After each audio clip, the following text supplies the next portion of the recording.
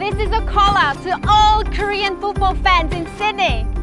Welcome to the beautiful Sydney Football Stadium where Taegeuk ladies, our awesome Korean women's team, will be making us proud during the FIFA Women's World Cup 2023. Korea Republic will be playing right here in Sydney against Colombia on Tuesday, 25th of July. So let's support our national heroes to go beyond greatness in Sydney.